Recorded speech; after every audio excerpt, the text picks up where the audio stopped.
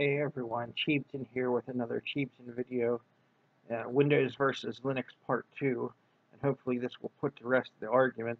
I know I'm going to have my critics in the comments, but I don't even think they're worth answering. So here we go. Four more reasons why Windows beats Linux hands down.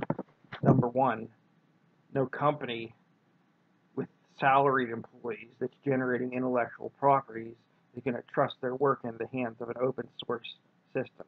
It's just not going to happen. You know, it's just too risky.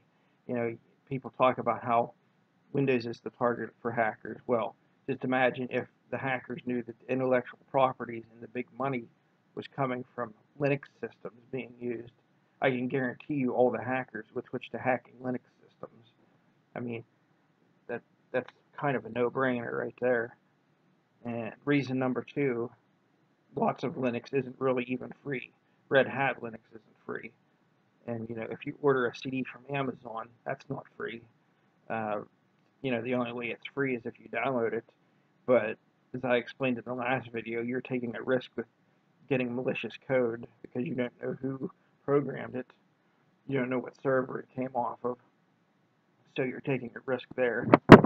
Uh, reason number three it's not really more stable than Windows. Windows just gets the bad reputation because everyone uses it and everyone runs into the same problems. Understand that your computer is a machine, just like a car is a machine, and you know it overheats every now and then. If you're playing heavy video games and it's an older computer, a lot of the times it's just an overheating issue. Like it's winter now, and I'm running my computer running hardcore games in my room, I always open the window. And I've never had my computer freeze up or crash on me when I had the window open. I mean, computers are like cars, they need air to cool down. And you know, you're relying on atmospheric air. You, you can't just rely on having fans alone.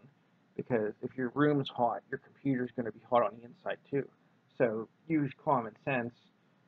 You know, use your computer in an air-conditioned room or in a cool basement or if it's winter, open up a window, and that'll take care of most of your crashing issues. I've had that happen. Every time I have my window open in the winter and I'm running games, it never ever crashes.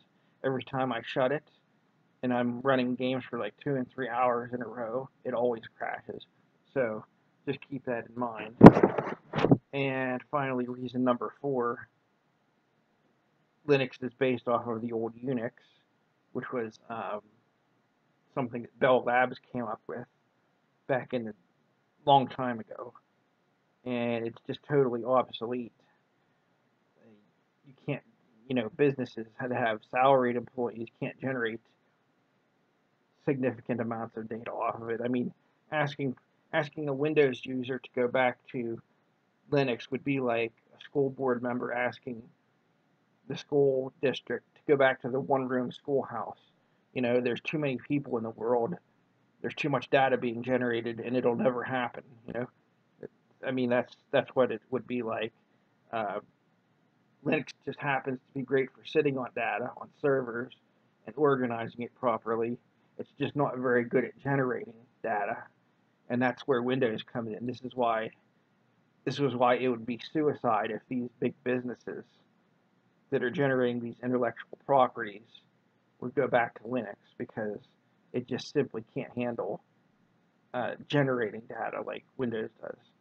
Uh, so hopefully this puts the arguments to rest. I know it won't for most people, the, the basement dwellers and the other people who think they're clever or something.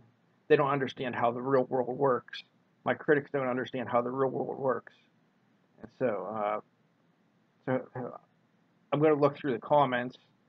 Hopefully there's some intelligent comments in there, but I know there won't be. But for right now, this is Cheeb out.